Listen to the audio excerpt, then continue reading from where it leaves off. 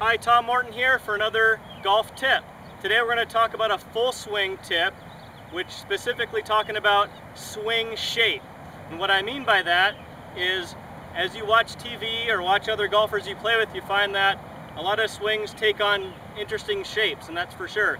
Well, we want to create a consistent shape so that you can hit the ball as solidly as you can on a more consistent basis. So a great drill to do that is to start with the golf club in the air and make some swings where you feel really around your body a little bit more. So nice and around like this, club in the air, nice and around, and that's gonna allow you to feel more turn, more rotation, and create more of a consistent swing shape. What we find is a lot of people either start with the club too inside, then they have to lift the club high, which causes them to come over the top, which again, that's not a consistent swing shape.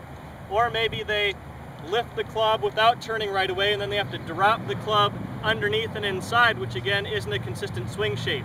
You notice when I'm right here, it's back, it's through on a much more consistent plane.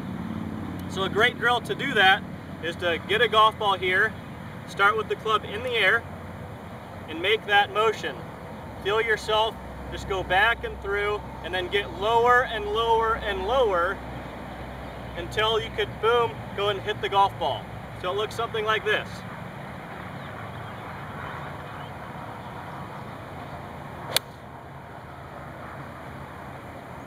So right here, right here, getting lower, getting lower, feeling that swing shape, bam, go and hit the golf ball.